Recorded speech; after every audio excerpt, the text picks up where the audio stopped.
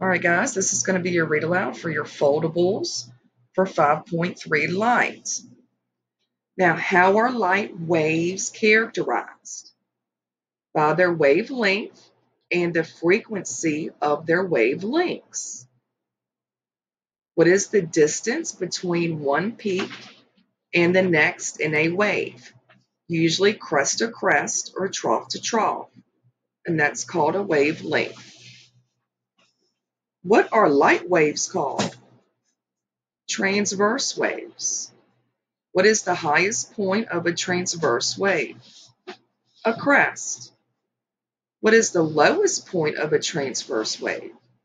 A trough. Compared to sound, light travels extremely fast. Light travels in straight paths called rays. Light waves do not need a blank through which to travel, a medium. Objects that allow most light through are transparent. Examples of transparent objects, clear glass, clear plastic, food wrap, clean water and air. Objects that allow light to pass through partially are translucent. They're loose. Examples of translucent objects, wax paper, frosted glass, thin fabrics, some plastics, and thin paper. Objects that allow no light to pass through are opaque. It's like, oh no, the light can't get through. Examples of opaque materials are metal, wood, bricks, aluminum foil, and thick paper. Light waves that bounce off an object are reflected. An example of an object that reflects light, a mirror. Light waves that bend are refracted. Refracted.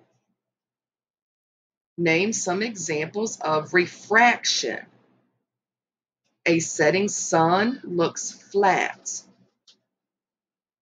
A spoon appears to bend in a cup of water. Prisms spreading light into different colors. Okay, a couple more. Refraction is the bending of a wave resulting from a change in its blank as it travels from one to another. And that's velocity, which is like speed, as it travels from one medium to another. What are the colors of a rainbow? Also called the visible spectrum. Roy G. Biv red, orange, yellow, green, blue, violet. Which wavelength is the longest? And that's going to be red. Remember, red is going to be at the top of the rainbow. So if red's the longest, then which one's the shortest? And that is going to be violet. And that's your foldable read aloud. And of course, you could take these and you fold them, and then you quiz yourself. Okay? All right.